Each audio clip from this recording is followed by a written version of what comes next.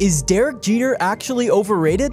Jeter and ESPN teamed up to release The Captain, a documentary detailing his famed baseball career and life. And while there's no doubt that Jeter was one of the best players of his generation, there continues to be a crowd persistent on pushing the narrative that he is still overrated for a number of reasons. For starters, stats indicate he was actually a below average defensive player because he lacked range fielding the ball. From 2003 to 2014, he cost the Yankees 153 runs, which is twice as many as the next closest shortstop, largely due to balls getting by that other shortstops were grabbing. Another key factor is the New York Yankees. Playing in baseball's biggest market, he constantly had talent around him, from Alex Rodriguez to Mariano Rivera. If he played elsewhere, would he have ever won any rings or stayed in the spotlight the way he did?